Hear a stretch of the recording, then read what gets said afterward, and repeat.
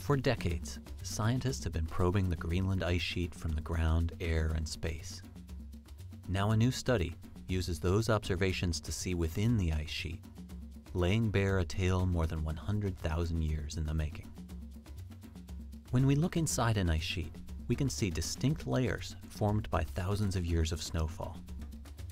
As snow accumulates, these layers get progressively compacted into ice, which then flows under its own weight. To get a precise history of a particular spot on an ice sheet, scientists drill into it and recover ice cores, which provide a record of the ice's age and what the past climate was like.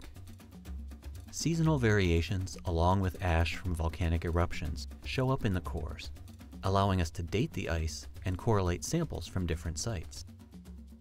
To extend this age information across the ice sheet, the best tool that we have is ice penetrating radar, mounted on aircraft flying low over the surface. Radar transmits electromagnetic pulses into the ice and records the reflected signals, allowing us to track the depth of the layers detected in the ice. Since 2009, NASA's Operation IceBridge has flown over Greenland more than 100 times with a wide variety of instruments, including radar, and produced vast quantities of data, adding to the work from many other missions. This has allowed researchers to generate a three-dimensional map depicting the age of the ice throughout the Greenland ice sheet. This 3D age map shows that three distinct periods of climate are evident within the ice sheet. The Holocene, shown here in green, the last ice age, shown in blue, and the Eemian, shown here in red. The top layers from the Holocene period formed during the last 11.7 thousand years and are fairly flat and uniform, though the thickness varies depending on how much snowfall occurred. Below this, deeper within the ice sheet, we see layers that formed during the last ice age.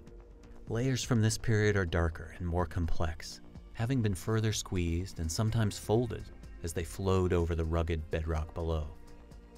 Deeper still are layers of ice left over from the warm period before the last ice age, more than 115,000 years ago. Eemian ice can reveal how the ice sheet responded to a period of warmth similar to the one we are experiencing today. Several ice cores have recovered Eemian ice, but it is difficult to interpret.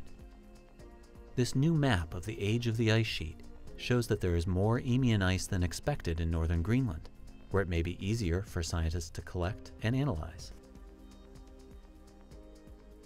This new analysis reveals a 3D map of the age of the Greenland ice sheet from the oldest Eemian ice to the layers deposited during the last ice age to the ice that formed during the Holocene. The response of the ice sheet to past climate change led to its current age structure. Further study will help us better understand how the Greenland ice sheet will respond to today's changing climate.